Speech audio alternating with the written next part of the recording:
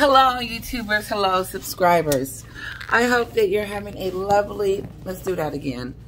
I don't know why that light is like that. It's like a glare. Yeah, Okay, let's do it this way. I'll hold the phone.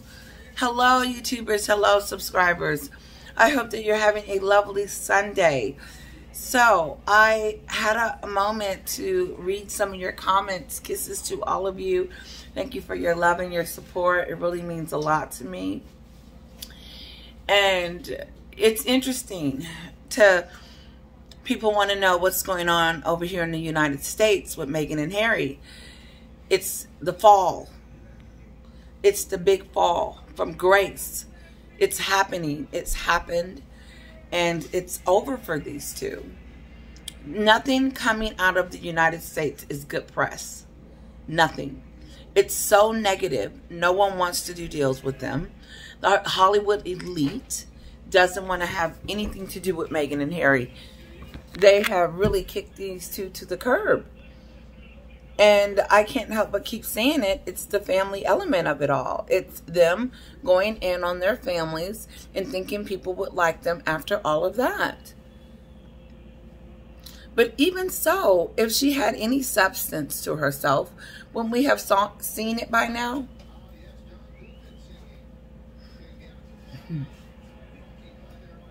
When he said, like, this is old news. Oh, yeah, it is old news um, her Spotify not doing it herself. That's old news.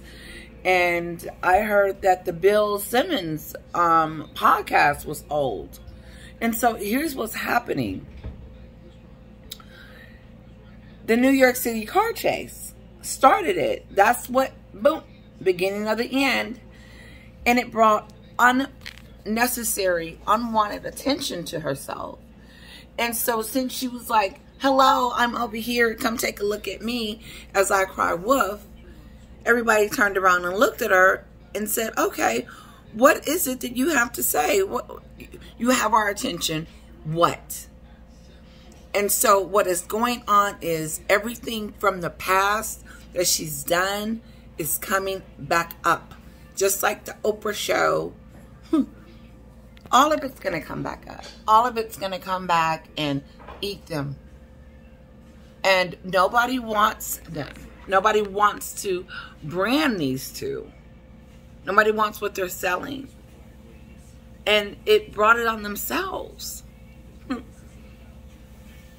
I really feel during the Spotify, her pretending to interview people was a lie. And like someone said, she lied to all of us. She had us under the impression that she was on there giving us an authentic interview with the people on her podcast. And that wasn't even real. So what is real? And so what happens here, if you keep lying to us, then what happens is your credibility is shot because it's so much to Meghan. It's not just the trashing of the family, but it's the lies, it's the blaming, it's the I gotta be, I have to build my brand by all means necessary. Everything centers around Meghan, not Harry, Meghan. When Harry's out and about, what is he doing? He's doing things for his wife. He's at court. He's making a fool out of himself for his wife. He's he's promoting his wife's book, Spare. I don't remember Harry having a book called Spare before he met this woman.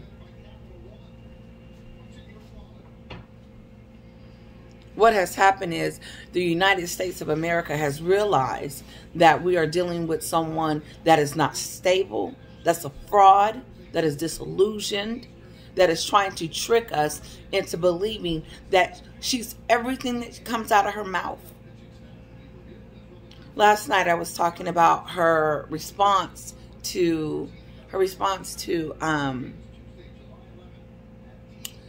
to the magazine about Archewell trying to say that they're they're they're a new company and they're going to have this revolving door until they um, and they're going to have different strategies.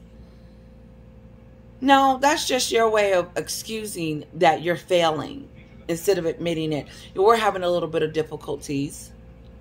No, that's not admitting anything. that's saying that oh this is this happens to everyone. This is normal. There's nothing normal about the duchess of sussex having a charity or having something or trying to build something and it fails. No. And so just like when she was trying to tell us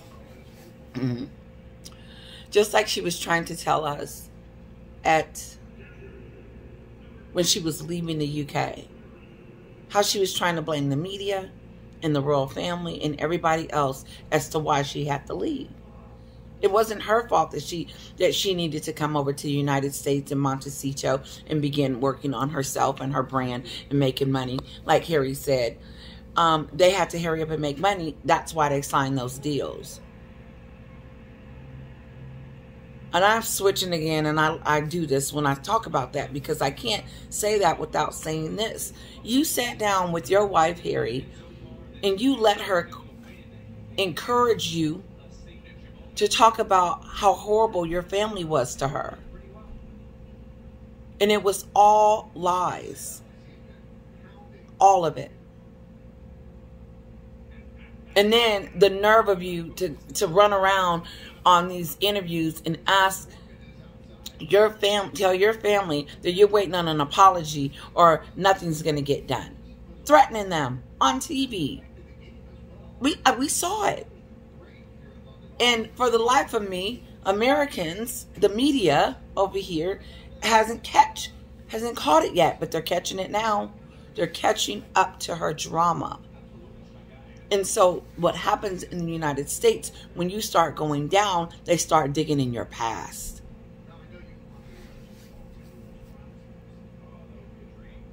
Harry runs around on these interviews without someone. Meghan, she wasn't present. She wasn't running around holding her husband hands like she was previously because she's distancing herself from the whole project because it was his book, not hers the blamer. It's all coming out. And what's interesting is that my previous videos, I've been consistent with who I, we have been consistent on who this woman is. But since more and more receipts keeps coming out, it just gets No, her and Harry got on TV and went around talking about his family was racist, unconscious bias. No, that they were racist because he was trying to change the narrative at that time that Meghan never said that they were racist. Yes, she did. She said it. Her mother said it on the docu series. Pure racism. Mm-hmm. That's not it.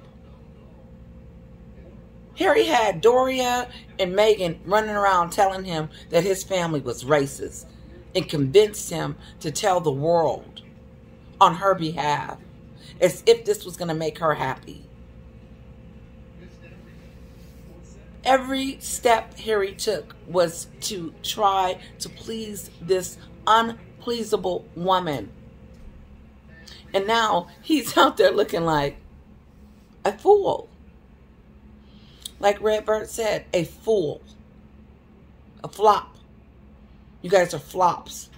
That's what the the New York, the Wall Street Journal has called you flops. Meaning poison, flops, non-workers, people that are not to be trusted at all. If you want to lose money, look over there at Meghan and Harry. It's funny how Spotify's money keep going up on how much they lost according to sources, they they lost twenty five million dollars over Meghan's Spotify deal. Well, you know what? You should have checked their references. Tom Bower was telling us all through his book, you didn't listen. Nobody was listening. Nobody was listening to United Kingdom. That's what happened, Netflix and Spotify. And we can all say to those that were bamboozled and believed it in the United States that, oh, these two were the perfect people and they're going to be Montecito Queen and King. probably giving her the benefit of the doubt. But TMZ and everyone has turned. She's one of those people, it'd be lucky if she gets a job. Someone said she could work at a restaurant. one of my subscribers. She can open a restaurant. The Duchess, the Duchess of, the Duchess and Duke of Restaurants.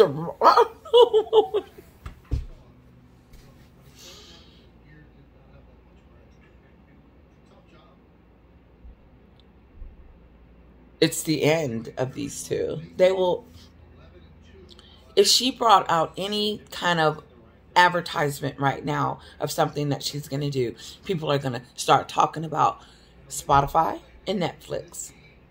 They're going to first talk about how she has cost them millions of dollars and lost them millions of do- dollars and then talk about the new company that think that they're going to make anything off of these two. Because i believe wme is over there having a very difficult time trying to figure out what the heck are they going to do because she's under your tuilages now she's under your brand she's under your name wme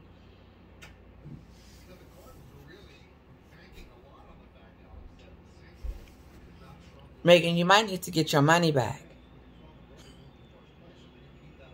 Oh, they went around. They went around the country on a tour, trashing their families, and thought that we were going to be go Meghan, free Meghan. She's the damsel. She's the one that. Uh oh. Excuse me. what I wanted. This is what I wanted to ask those that were were um defending her. Did y'all not see the wedding? Did you not see the queen do all that stuff for her? Oprah, you didn't see it? I mean, you flew over there with that pink dress on, talking about you're in the house. Couldn't believe it.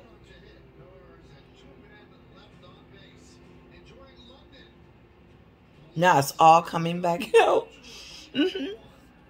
And you can't tell me that Oprah is not cr- cringing. Cringing. Because you got to go back to the beginning of where it all started. Didn't it start Mexit? Mexit and Oprah?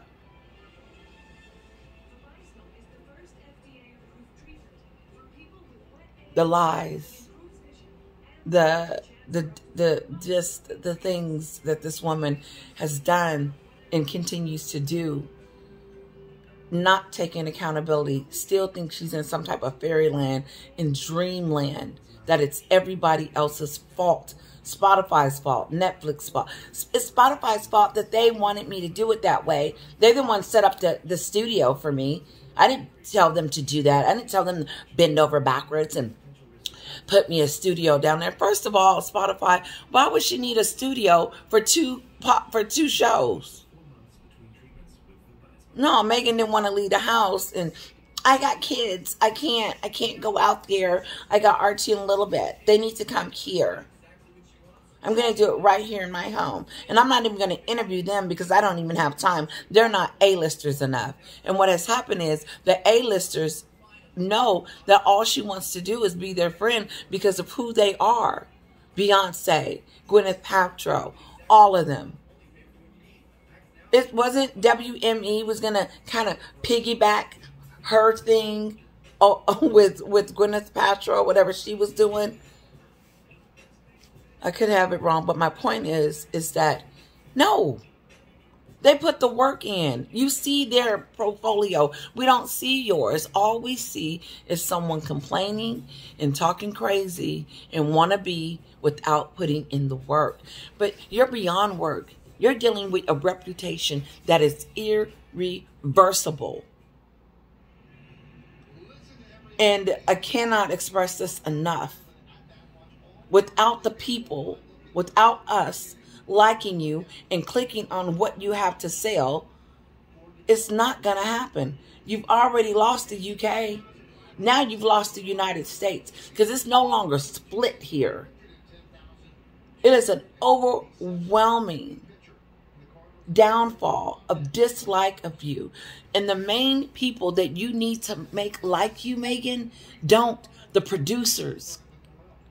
the A-listers, the connections. You need each and every one of them to help you get to where you need to be over here in the United States because the name alone doesn't do it. Not in the United States. Catherine can be the princess all day long in the United Kingdom. And guess what? Be the she is the most talked about in a situation, you know, just bear with me, guys. This is assumption, me talking out loud, but she is. She is a star without even just coming out the house, just dressing. All she got to do is put on a hat and then, you know. Meaning, she is royalty and therefore respected on so many levels. And Meghan had that too in the beginning. But she opted out for this life. But she wanted us to believe that the royal family kicked her out. No. Then she told Tyler Perry that they were trying to get them to stay. Well, which one was it? Kick you out, stay? Her story is inconsistent. No titles, titles because of racism. Then she came out with that leaky story about how her and Charles were communicating. He wrote her a letter, she wrote him a letter. King Charles ain't writing nobody a letter. And if he did, he let her know, listen, I got my lawyers on you. Don't cross the line. Trying to build your reputation. Trying to see, see, see, I told you the royal family was this mean racist family. No proof. That Gonzali, Gonzal, Benghazi lady, can't pronounce her name, that went over there trying to get dirt And then I know because Harry brings it up in his interview. He says, well, the Benghazi issue that happened, you know, and, and then he turns around and says, Lady Hussey is like, she's a wonderful woman. Then why would you bring up the negative and then turn around and start praising it, praising her? No, you were trying, Harry was trying to bring attention to something that he and Meghan had made up, I believe, and decided, oh yeah, we can call it unconscious bias. Because Harry tells us that Meghan has opened up his intellectual insides to get him to understand that he didn't know any of this stuff before her. Why would you? Why would you be focusing on your family being racist?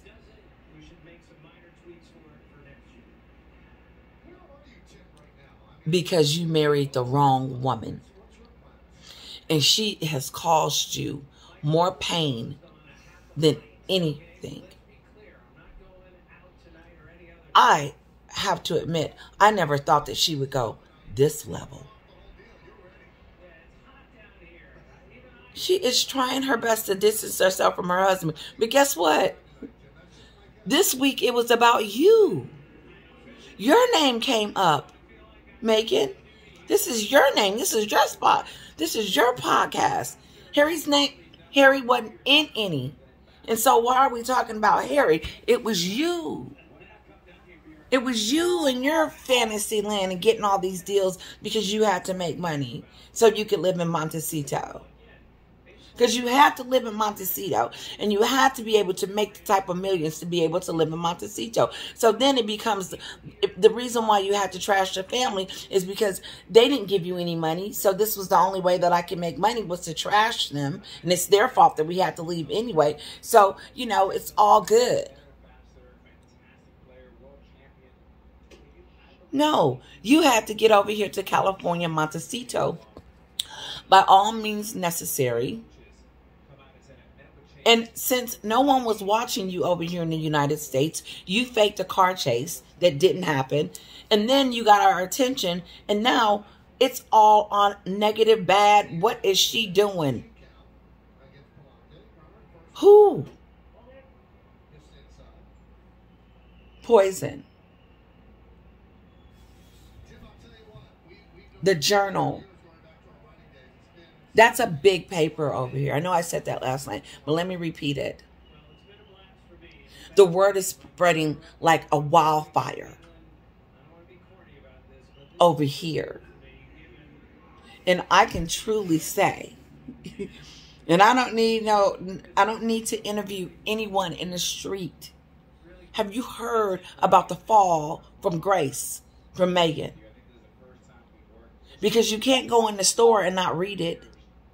You can't click on your computer and not see it. You can't click on your TV and not hear it. Listen, I'm out of here, guys. Thank you for my lovely subscribers. I really want to read some of your comments one day. Oh, it's awesome. One of you asked me, and I think I said it already. Why are we talking about something that already happened? Because now the United States is looking at her in a, in a way that the United Kingdom is looking at her. But this affects her in on a bigger scale because Meghan is all about her brand and making money and being liked and being in high society. And without her connections, without good press, it, it fails. Dior was never going to, maybe they were. But they're letting everybody know, nope, that's not true. So who's lying? Why do, listen, why do we keep hearing lies coming from the Sussex camp?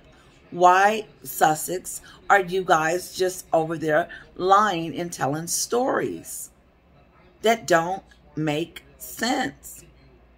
I want to read the Jeremy Clarkson, um, what he said about her. I really do. I got that off of Sue Smith's channel. You know, on Sue's, she talks about Meghan at the end and sometimes in the beginning. It just depends. But what I know notice is that her segments on Meghan and Harry are getting longer because of the trouble that they're in.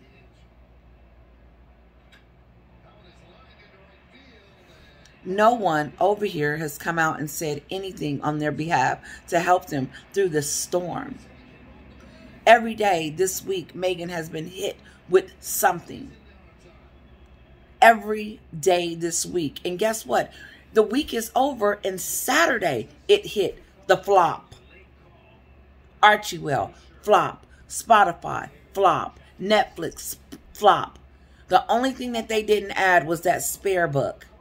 And the nerve of Harry to be running around advertising that still. As if that's a, if, as, as if that's one of those good reads. Love you guys.